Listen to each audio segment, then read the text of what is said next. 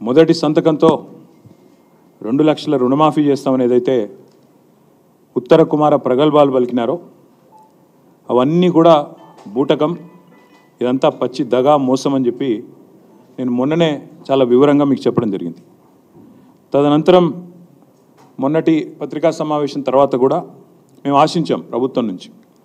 నిజాయితీగా ముందుకొచ్చి చేయలేకపోయినాము మా వల్ల కాలేదు మేము ఇప్పటిదాకా చేసినవన్నీ కూడా చెప్పినవన్నీ కూడా అర్ధసత్యాలు అసత్యాలు. మాకు ప్రభుత్వ నిర్వహణ అనేది చేత కావడం లేదు అని కనీసం ఓపెన్గా చెప్పినా చెప్పకపోయినా రుణమాఫీ అనేది మా వల్ల కాలేదు అని చెప్తారేమో అనుకున్నాం. కానీ చాలా నీతిబాహ్యమైన రాజకీయాలు ఈరోజు కాంగ్రెస్ ప్రభుత్వం రేవంత్ రెడ్డి గారి నాయకత్వంలో చేస్తున్నది. రుణమాఫీ బూటకం పచ్చి మోసం దగ అని తెలిసిపోయింది. రుణమాఫీ కాదు జరిగింది మాఫీ కాదు పెట్టింది రైతుకు టోపీ అనేది చాలా స్పష్టంగా అందరికీ కూడా అర్థమైంది.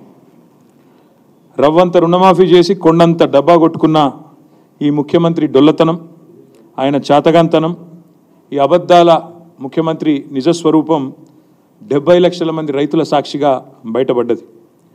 రాష్ట్ర వ్యాప్తంగా ఈరోజు మీరు చూసినట్టయితే రైతుల ఆగ్రహంతో రగిలిపోతూ ఉన్నారు. రుణమాఫీ కాలేదు అని మండిపడతా ఉన్నారు. బ్యాంకులకు తాళాలు వేస్తూ ఉన్నారు. ఎక్కడికక్కడ ప్రభుత్వ కార్యాలయాలను ముట్టడిస్తూనే ఉన్నారు.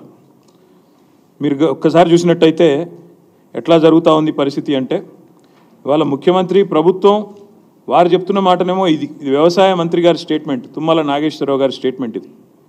రెండు లక్షల రుణం మాఫీ చేశాం. ఇది వ్యవసాయ మంత్రి స్టేట్మెంట్ తుమ్మల నాగేశ్వరరావు గారి స్టేట్మెంటు రెండు లక్షల రుణం మాఫీ చేశాము. కానీ పత్రికల్లో కొన్ని పత్రికలు చాలా స్పష్టంగా రాశాయి. రుణం తీరలేదు. రుణం తీరలేదు. ఎలా మోసం జరిగింది చెప్పారు నేను కూడా వివరంగా చెప్తాను. రైతులతో మాట్లాడిచ్చారు. తర్వాత పాపం రైతులు రాష్ట్ర వ్యాప్తంగా రోడెక్కుతున్నారు. మాకెందుకు రుణమాఫీ జరగలేదు అని చెప్పి రైతులు రాష్ట్ర వ్యాప్తంగా రోడెక్కుతా ఉన్నారు. ఎక్కడికక్కడ ఇవాళ రణరంగంగా రుణభంగం జరిగింది కాబట్టి రణరంగంగా రాష్ట్రంలోని ప్రతి గ్రామం కూడా మారిన పరిస్థితి. ఇవి మాఫీ మంటలు అనే పేరిట మాఫీతో మాఫీ అని చెప్పి మోసం చేస్తున్న వైనం ఏదైతుందో దాని మీద ఒకవైపు మరొక వైపు ఎక్కడికక్కడ నిరాహార దీక్షలు ధర్నాలు నిరసనలు ఇది ఎవ్వరు ఏ పార్టీ ప్రేరేపించింది కాదు. రైతులు స్వచ్ఛందంగా తమ కడుపు మంటతో ప్రభుత్వ కార్యాలయాల్లోకి అదేవిధంగా బ్యాంకుల దగ్గర చేరి ఇవాళ ఎక్కడికక్కడ ప్రభుత్వ కార్యాలయాలను కూడా ముట్టడిస్తూ ఉన్నారు. ఇప్పుడు చూడండి ఇది ఆగని అన్నదాతల నిరసనలు. ఒక ఫుల్ పేజ్. మొత్తంగా ఎక్కడికక్కడ రాష్ట్ర వ్యాప్తంగా రగులుతున్న పరిస్థితి ఇట్లా కనబడుతూ ఉంది. వాస్తవాలు ఇట్లా ఉన్నాయి. నాలుగైదు రోజులుగా ఏ పత్రిక చూసినా మరి టీవీ చూసినా రుణమాఫీ మీద రై రగులుతున్న రైతు లోకం రైతు ఆందోళనలతో అట్టడుగుతున్న రాష్ట్రం అట్టుడుగుతున్న రాష్ట్రం సీఎం దిష్టిబొమ్మల ఊరేగింపులు నిరసనలు ఇవన్నీ కూడా ఒకవైపు కనబడతా ఉన్నాయి. గుండెలు మండి అన్నదాతలు ఆందోళన చేస్తుంటే ఇవాళ పోలీస్ కేసులు పెట్టి అక్రమ అరెస్టులు పెట్టి చేసి వారిని అణిచివేసే ప్రయత్నం చేస్తూ ఉన్నారు. మీరు ఇది చూడాలా దయచేసి అందరూ కూడా?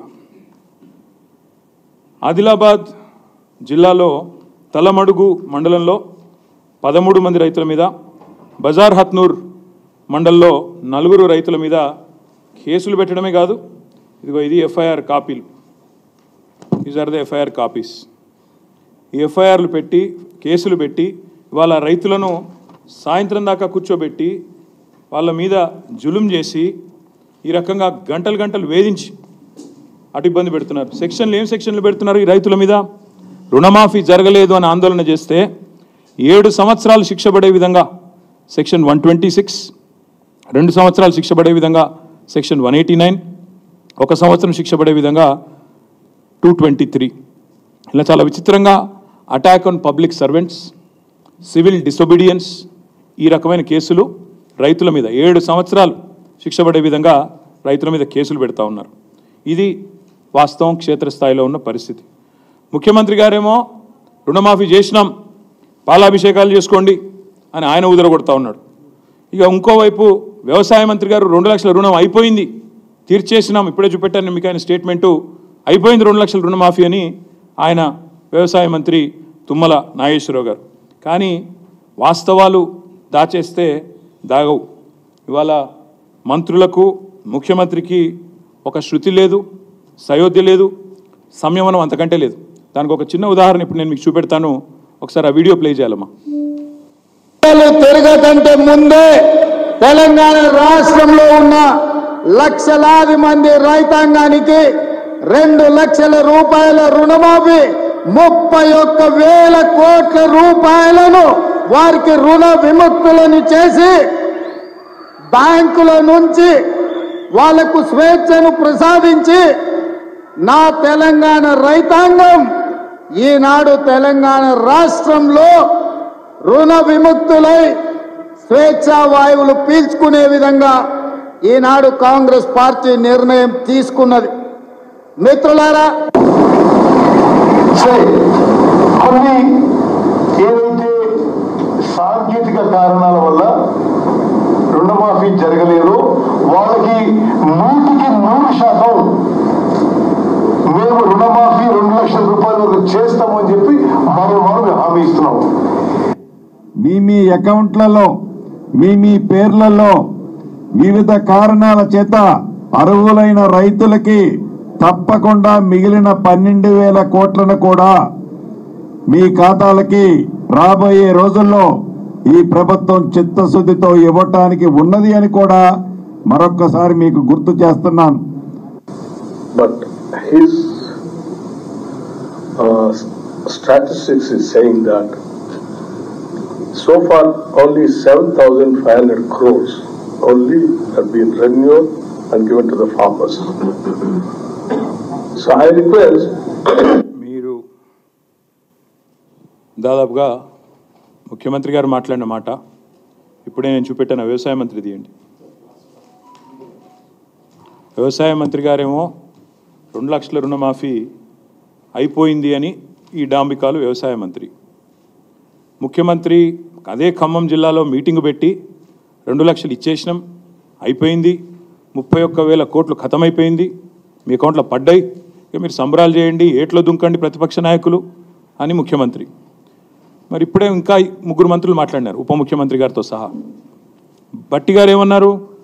ఆయన చెప్పిన లెక్కలింటే బట్టి గారు చెప్పిన లెక్కలింటే రుణమాఫీ వట్టిదే అని స్పష్టంగా అర్థమైంది. రుణమాఫీ వట్టిదే జరగనే లేదు అనే మాట స్పష్టంగా అర్థమైంది. ఉత్తమ్ కుమార్ రెడ్డి గారు చెప్పారు సాంకేతిక కారణాల వల్ల సాంకేతిక కారణాలు ఏమి లేవు. మీరు ఎట్లా తప్పించుకుందామా అని చెప్పి ఆంక్షలు కొర్రీలు పెట్టి ఎట్లా ఎగరగొడదామా పేర్లు అని చెప్పి చేసిన దిక్కుమాలిన దివాలా కోరు రాజకీయం తప్ప ఇందులో సాంకేతికం లేదు మన్ను లేదు. అది వారు వారు చెప్తా ఉన్నారు. జరగలేదు. The loan waiver is not completed అని స్పష్టంగా ఉత్తమ్ కుమార్ రెడ్డి గారు చెప్తున్నారు. బట్టి గారేమో only seven thousand five hundred క్రోర్సే రైతుల ఖాతాల్లో పడ్డాయని బట్టిగారే స్వయంగా బ్యాంకర్స్ మీటింగ్లో చెప్తున్నారు. పొంగులేటి శ్రీనివాసరెడ్డి గారు చెప్తున్నారు ఇంకా కాలేదు పన్నెండు వేల కోట్లు ఇవ్వాల్సి ఉంది ఇస్తాము ఎప్పటి ఇస్తాము ఆయనకు కూడా తెలియదు ఏం తెలియదు కానీ ఇస్తాము అని ఆయన ఉదరగొట్టడం. అసలు ఈ ప్రభుత్వం నడిపే వాళ్ళకి రుణమాఫీ విషయంలో స్పష్టత ఉందా లేదా? ఇచ్చింది ఒప్పుకుంది ఎంత అనే విషయం అసలు వీళ్ళకి తెలుసా తెలియదా ఎందుకంటే చూస్తుంటే చీఫ్ మినిస్టర్ ఆయన డిప్యూటీ చీఫ్ మినిస్టర్ ఆయన కింద ఉండే మంత్రులు ఒకరికొకరికి సయోధ్య కానీ శృతి కానీ ఉన్నట్టు లేదు. ఇది స్పష్టం. మొత్తంగా వీళ్ళందరి డొల్ల మాటలు వింటే అర్థమైంది ఏంటంటే రుణమాఫీ సగం కాదు పావులా కూడా కాలేదు. కానీ మోసం మాత్రం పూర్తిగా జరిగింది. రైతులకు వంచన మాత్రం వన్ హండ్రెడ్ పర్సెంట్ జరిగింది. మాఫీ ఇరవై శాతమో ముప్పై శాతమో ధోకా హండ్రెడ్ పర్సెంట్. ఇందులో ఏం డౌటే లేదు. ఇవాళ మళ్ళొక్కసారి వీళ్ళ దివాలాకోరు మాటలతో తేలిపోయింది. పెద్ద పెద్ద ఓటింగ్లు పెట్టారు ఊరంతా. రైతు స్వరాజ్యం అంటూ ఫ్రంట్ పేజీలో యాడ్స్ పెద్ద పెద్ద హోర్డింగులు. ఇది రైతు స్వరాజ్యం కాదు. రైతును ఏడిపిస్తున్న రాజ్యం రైతును మోసం చేస్తున్న రాజ్యం అని మేము అంటా ఉన్నాం. అందుకే ఈ ముఖ్యమంత్రి ఈయన మంత్రివర్గ సహచరులు ఈయన ప్రభుత్వం చేస్తున్న మోసానికి వ్యతిరేకంగా రేపు బీఆర్ఎస్ పార్టీ ఆధ్వర్యంలో అన్ని మండల కేంద్రాలలో రేపు రైతులకు రైతులను కూడగట్టుకొని మా పార్టీ కార్యకర్తలు మేమందరం కూడా ధర్నాలకు పిలుపునిచ్చినాం.